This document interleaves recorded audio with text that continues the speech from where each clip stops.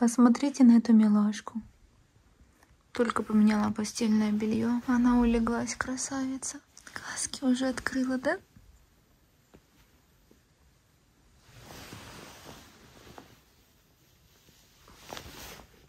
Скажи, разбудила меня. Она быстро засыпает. Такая смешная. Мясо Цезария. Без листов салата заказываем. Помидорки здесь. Вот, кстати, даже видно, что здесь яйцо, курица. Сыр пармезан, по-моему, здесь есть еще. И соус Цезария. Владик заказал себе еще пасту карбонару. Тут яйцо, бекон, сливочный соус. Я, как всегда, заказала сок манго, а Влад впервые заказал себе сок яблочный за долгое время.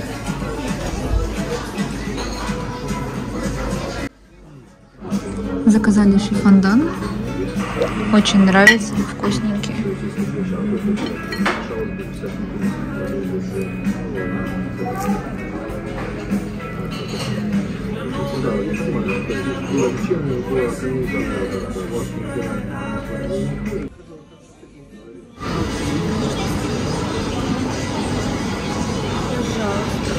Спасибо. Так, чизки... ты чизкейк соленую карамель заказал, Я да? еще принесу. Что еще? Наверное, салфеточки. Я думаю, почему-то, что тебе Наполеон будет соленый. Такие маленькие вилочки. Запах, конечно, обычный.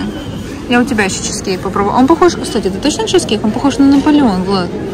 Влад, Наполеон. а сказать чизкейк соленая карамель, это же Наполеон. Это Наполеон. А у меня красный бархат.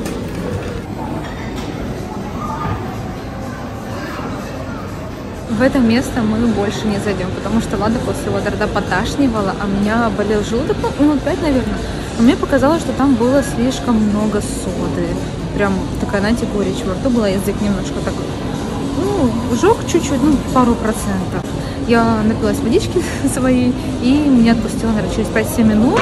Может быть, там напитки неплохие, но мы напитки там еще не брали.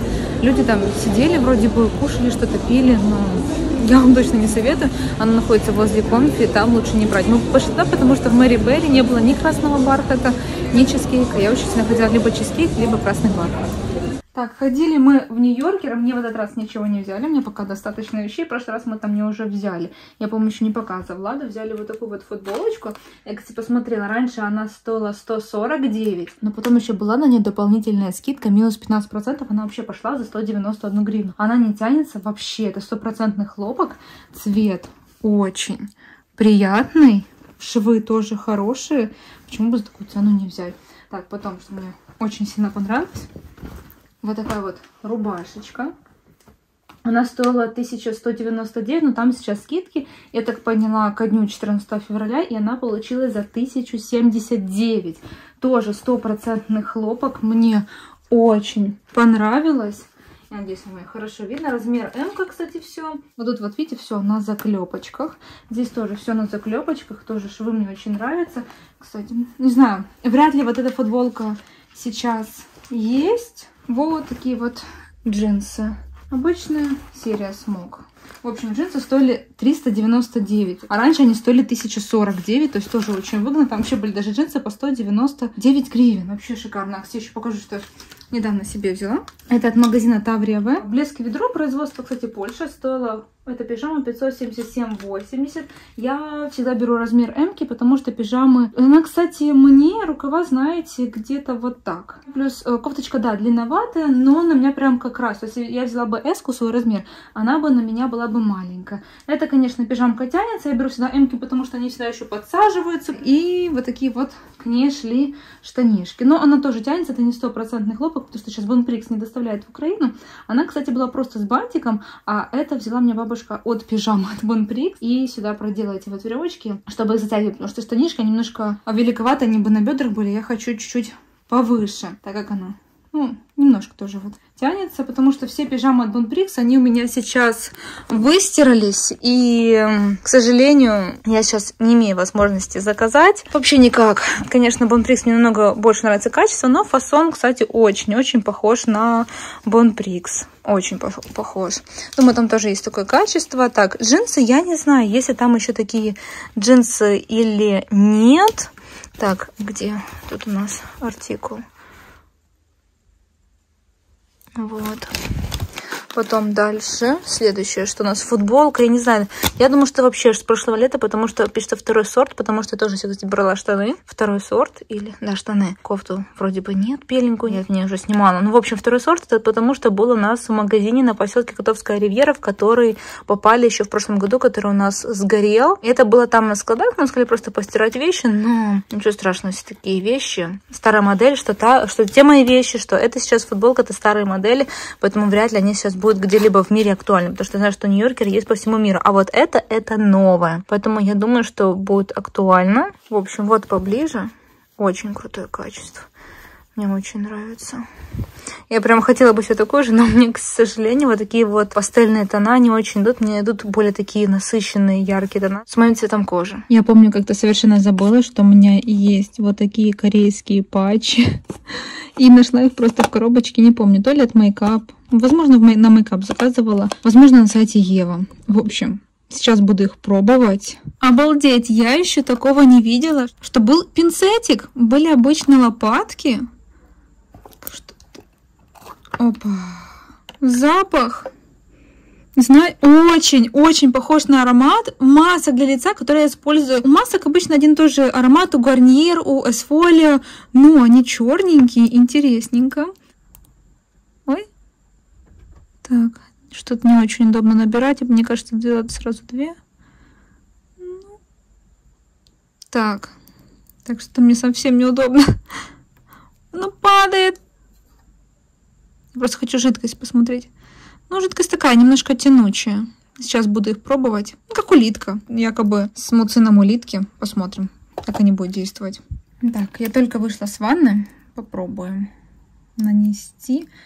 Очень неудобный пинцет. Она прям выскальзывает из него. Полупрозрачные. Большие. Мне кажется, даже больше, чем я брала до этого корейские. Ну, снизу чуть больше овальчик. Жидкость вот реально тянучая. Я просто в шоке. Вы это видите? Обалдеть. Так, насколько их нужно наносить? 60 штук для омолодження, захисту, від старіння вековой вянучей. А, вялой, ну вянучей, да, это вялая кожа, которая вянет с безводненной шкиры століття. Что за перевод? Убирает пигментные пятна, темные круги под глазами, синяки, просто темные круги, придают взгляду чистоту и ясность. А, но чистота и ясность взгляду это как бы громко сказано.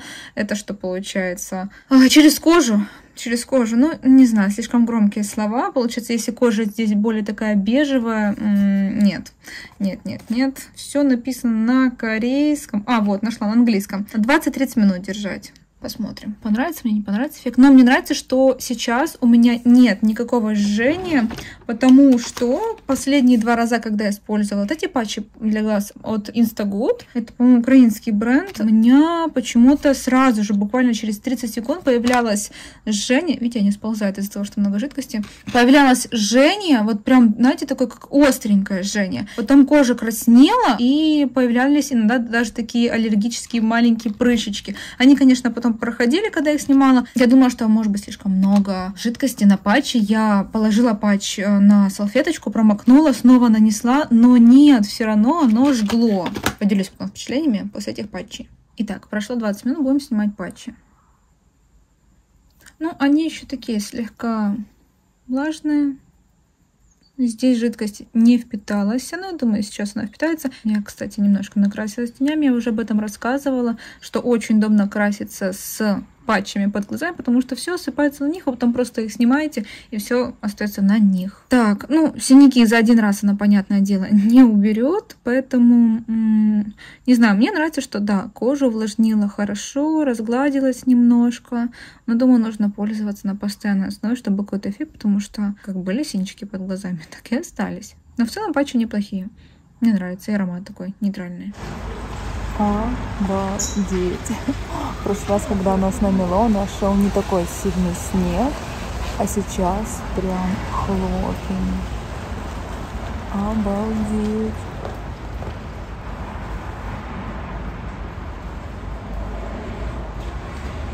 И при этом у нас еще минусовая температура будет. Надеюсь, она останется.